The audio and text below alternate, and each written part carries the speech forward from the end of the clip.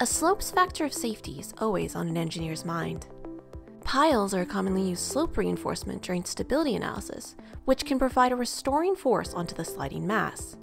However, the process of performing a coupled analysis between limit equilibrium slope stability and beam analysis can be time consuming.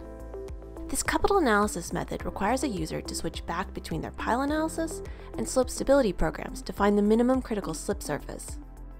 Rocscience has automated this process. The 3D Limit Equilibrium program Slide 3 now seamlessly integrates with RS Pile, our 3D pile analysis program, allowing you to run in-depth analysis faster than ever. The integrated pile analysis feature is already available in Slide 2, and now, due to popular demand, has been extended to Slide 3. Together, the two programs work in tandem, with RS Pile calculating the pile capacity and Slide 3 calculating how the slope responds to the supports. Excited to try this new feature?